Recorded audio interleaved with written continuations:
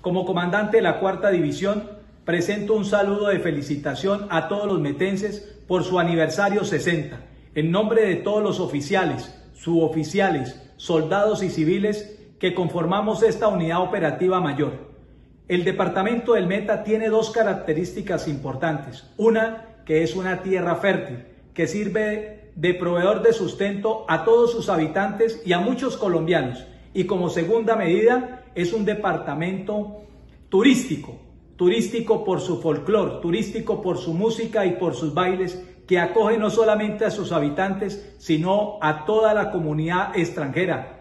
Felicitaciones.